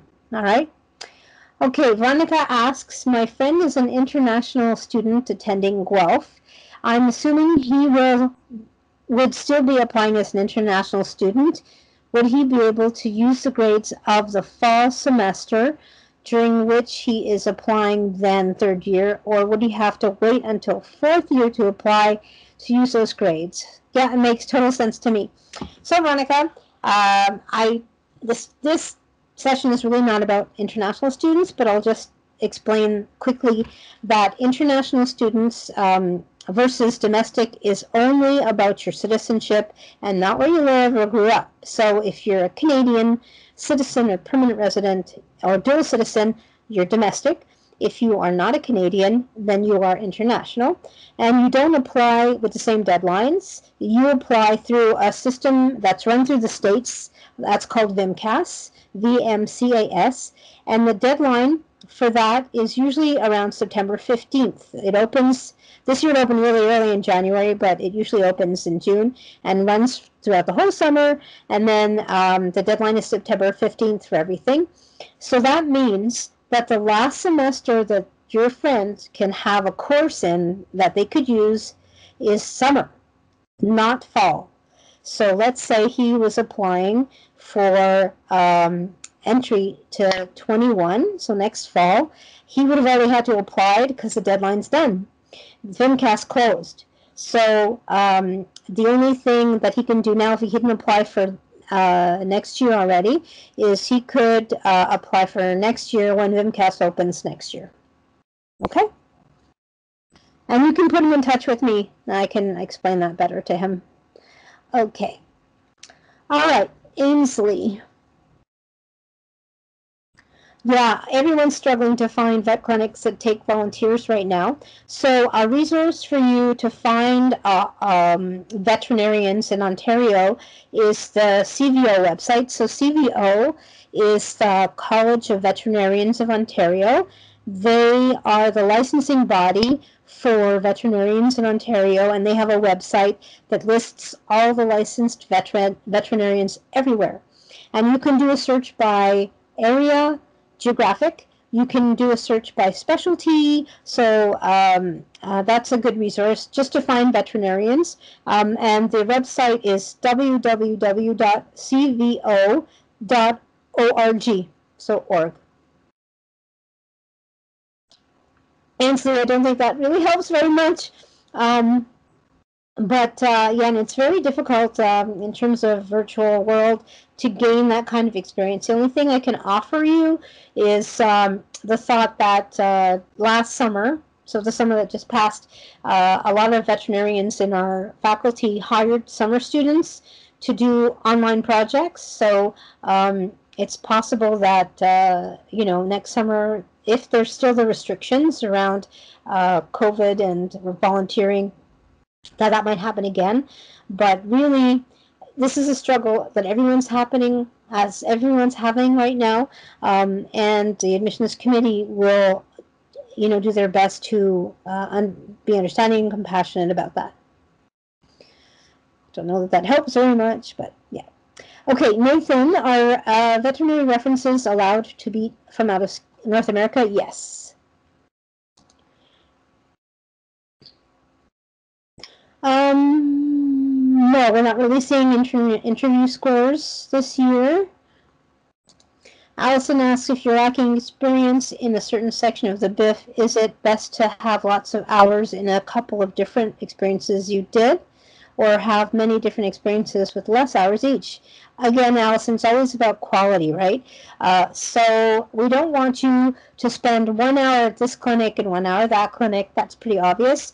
Um, but again, um, you know, uh, we do like that you spread yourself around a little bit. But if you have like hundreds of hours in one clinic, that's fantastic. Uh, same thing with the other things. You don't need a ton of hours, um, but you don't need a bunch of different places either. We just want to see that you've made the effort to get the experience um, and that you've um, kind of gained those skills that we're looking for. So, like veterinary experience, obviously, is all about learning what veterinarians do and learning if the career fits well for you, or you know that part of the career fits well for you. Um, animal experience is about learning how um, uh, to handle animals because you're going to have to do that uh, in the program, and also uh, you know getting a comfort level with animals as well as uh, you know it's it's good to know. Um, you know the different diseases that dogs get versus cats versus horses cows that kind of stuff. It's good knowledge to have but you'll learn that once you're here anyway. Okay. Ah great question mention um, will having allergies to being in a barn put me at a disadvantage during the application process? That is a great question because we've had at least one person that i know of if not two in fact, I think there's a current student now that has allergies to like hay and stuff and uh, uh, environmental allergies. We've had people in the program that have allergies to animals, believe it or not. Um, so it is doable.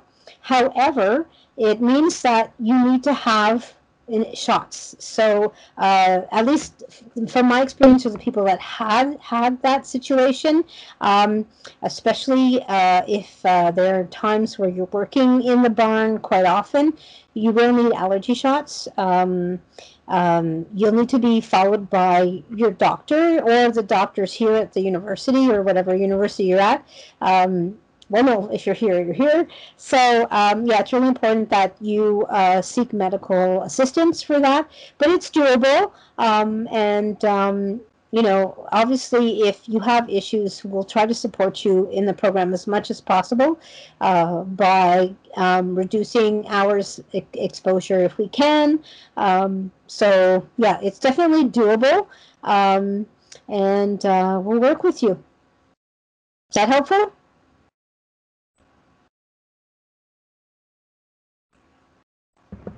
Hi.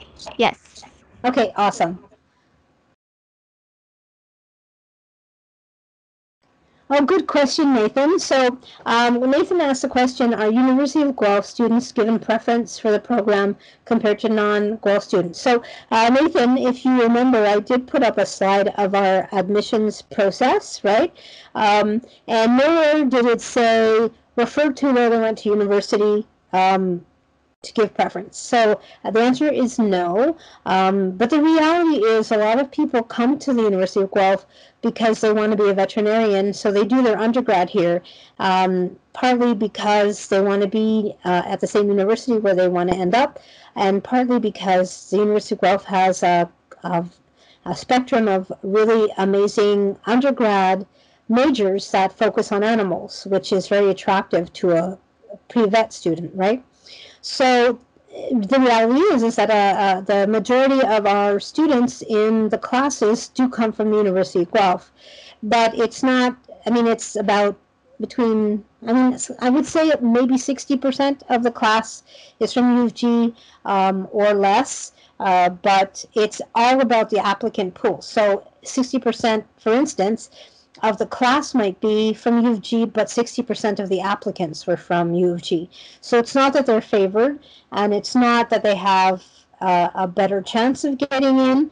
Um, it's just that they reflect the applicant pool, so um, more are applying and more are getting in. Okay? So Margaret asks, can I put visits to farms when I interacted with the animals as my animal experience? Absolutely. Can pet sitting other people's animals be used as animal experience? That's cutting it close. Like that's kind of like ownership. Um, if, for instance, the animal had a medical condition and you had to administer, administer medication, it might be a bit more challenging. But I would say pet sitting is not necessarily the kind of animal experience we're looking for um, because you're just well i would say it's kind of close to to, to ownership and um, i don't think that would be that impressive to the admissions committee. Okay All right, if you did volunteering involving animals, can that go in either extracurricular experiences or animal experience? Okay, like I said, Allison, uh, best thing to do is to log your hours, and the hours that you spent with the animals would go under animal experience, and the hours where you weren't, like let's say you were working reception, um, that would be in extracurricular. Um, oh, good question, Margaret. Would sports be considered extracurricular? Absolutely. Uh, if you use SAS note taking as an extracurricular on your BIF, how would you figure out how many hours you to put down? Well, log your hours at how long it takes for you to do. Okay, uh, Megan, can a veterinarian who was our reference on our application last year be a veterinary reference for us again this year? Absolutely. Um, so Sophia asks if you're taking an undergrad in science, but it isn't animal science, or are you less qualified or less likely to get in? Uh, absolutely not, Sophia. Um, everyone starts off at the same level when they come into the DVM program. And in fact, we love diversity in our program. Uh, we have people that have done engineering, we have people that have done commerce uh, and economics, we have people who have changed careers and have been, we even had a fighter pilot at one point um, who got who went back just to get the prerequisites and um, did really well. So uh, as long as you have uh, the ability to do um, the eight prerequisites and perform well, it doesn't matter what program you're from. We have uh, Bachelor of Arts folks, we have Bachelor of Arts in Science, you know, lots of variety. So that is not a that uh, is not a problem.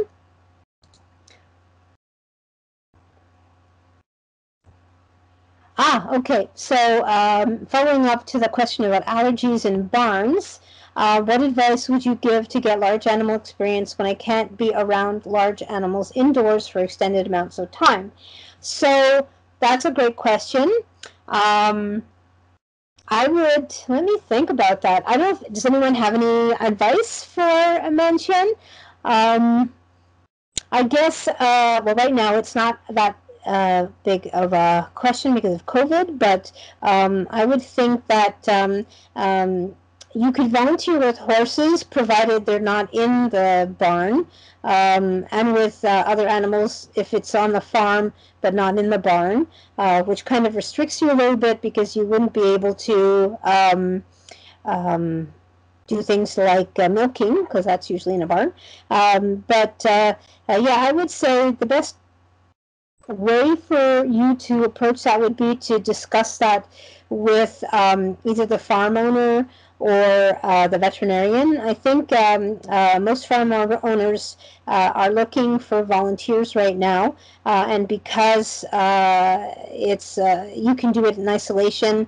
Um, it's it's possible for you to do it during COVID, I believe. Um, correct me if I'm wrong. Anyone out there, if they know. Um, Okay, does anyone have any advice for mention? Just chime in.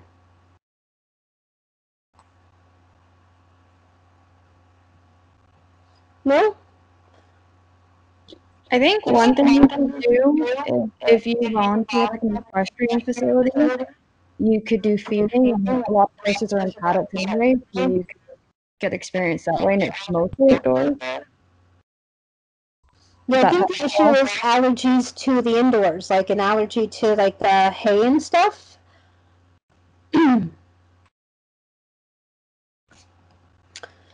okay, sorry, I can't. Uh, yeah, go ahead. If it's not uh, if it's not too often, you could uh, use um, Reactine. Like my my little brother has allergies to cats, and if he does interact with cats, he does usually take Reactine. If it's obviously not too often in the week, but yeah. Yeah. Okay, Nathan asks, does working at a pet store count as animal experience? Well, some of it would, right? If you're if you're uh, interacting with the animals, and again, animals means uh, vertebrates. Um, I believe everyone understands that. Uh, so, Nathan, if you're working with the animals, absolutely that part of it would be animal experience, and then the interacting with customers, doing the cash, those kind of things would be uh, extra work, extracurricular stuff. Allison asks, what resources can we use or purchase to prepare for the MMI if given an interview? So I did have a slide about that. Um, so uh, some universities offer MMI training. The Future Vets Club usually, uh, if we do offer the MMI this year, the Future Vets Club will most likely offer a mock MMI session uh, virtually if uh, necessary.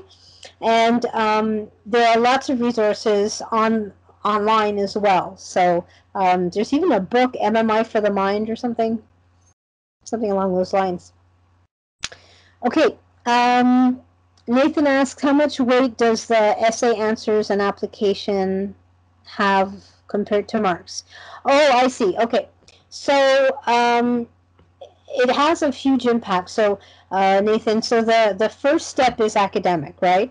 And then there's the assessment and screening. So if you uh, are missing um, good things in your application, uh, or if your essays are horribly written, uh, then you might uh, be identified by the admissions committee as um, pro- uh, like problematic, and uh, they'll review your uh, application and make sure that um, uh, they want to invite you for an interview. So you don't want anything in your uh, application, your background information form, uh, or your referee assessments to be negative or, or possibly shine a negative light on your uh, application. Um, I don't know if that's helpful, but uh, uh, so it is very important. And then after that assessment, uh, the interview and the marks um, become most important. Okay, Rita asks, are we able to volunteer with the OVC for veterinary experience? Uh, no, we do not currently have a volunteer program. The only thing really that's there uh, was Foal Watch, and I don't think it's running right now. Um, but you'd have to ask them. I don't run that program. Um, and um, uh, there, the, there's still the possibility, if you're at the University of Guelph, uh, to work over the summer with one of our faculty. So uh, what I would suggest for that is if you're interested in potentially doing a summer project is um, uh, go to the OVC website uh, ovc.uoguelph.ca and uh, go to the departments tab, click on a department, and then go to the faculty profiles and see if any of the faculty are doing research that really interests you, and then reach out to them, email them. Uh, I would say the best time might be November. Um, don't wait too long uh, and say, hey, um, I, have uh, read up on your research and it really is fascinating. I'd love to uh, learn more about it. Is it uh, are you potentially going to hire students for the summer? Um, and uh, you can start that dialogue with them. And then um, uh, when they put in for funding for summer uh, jobs, which they, they will do in December, uh, you'll already have contacted them and they'll they'll be on your mind. you'll be on their mind. Um, so that's a good process. Okay, hold on. So Nathan asks, does applying more than once give more priority to, to those who have applied once uh, someone on their fourth application give more weight no. Every application is independent so uh, we don't even know how many times you've applied. So each application process is blind. Um, everyone's treat, treated equally. Um, we don't know what university you went to. We don't know how old you are. We don't know um, what kind of undergrad you did, what, how many times you've applied previously, if you've applied at all. Um, all those things are things that we do not know. We just look at, like what I showed you, we just look at your marks and then your application. Um, and then uh, we work from there. So um, you're given the opportunity to apply four times, but each time is an independent and equal application. Okay, So, unbelievably, I think I'm at the end of the questions.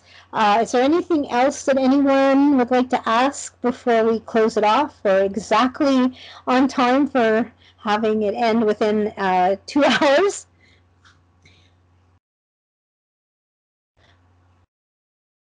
Yes, uh, I, I, mentioned earlier that this is being recorded and uh, we're going to post it publicly on the OVC um, YouTube channel.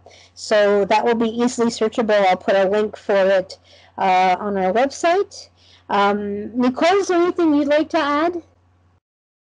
No, uh, this is very nice to listen. I was happy to be part of this. Thank you. Oh, awesome. Well, thank you for being here. No problem. Okay. Oh, Keely asked an interesting question. Would marrying an Ontarian uh, citizen allow you to be considered an Ontario citizen for the application? No. I don't think so, hey Nicole? I think that's more around citizenship, right? Like if you're international and you marry a Canadian and end up uh, becoming Canadian, then you could apply as a Canadian. Um, but no, uh, residency is specific to you and where you've lived. Okay, excellent. Okay, guys, thank you very much for being here. Um, so again, if you have any questions after this, my email, um, I can type it in the chat, but it's pretty easy, is vetmed at uoguelph.ca. Okay, there it is in the chat. Did I spell it right? U-E-L Oh, I, I mixed the E and the U together. Sorry about that. Okay, guys, so I'm going to stop the recording now, but I'll stay online and answer any other questions if there's any that comes up. Okay? Thanks, everyone.